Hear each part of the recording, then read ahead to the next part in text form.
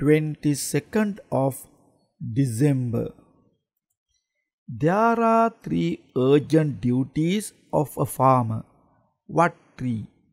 The farmer gets his field well plowed and harrowed very quickly.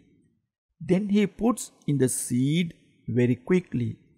Then he irrigates it very quickly.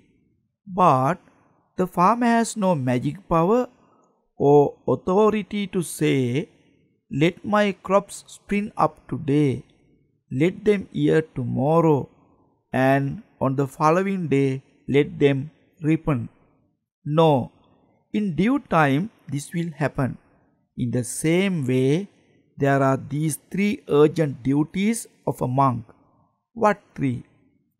Undertaking the training in higher virtue, higher thought, and higher wisdom.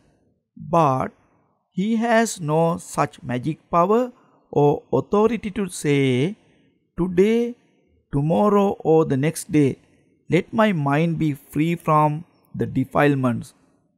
No, in due time, this will happen as he undergoes training in these three things.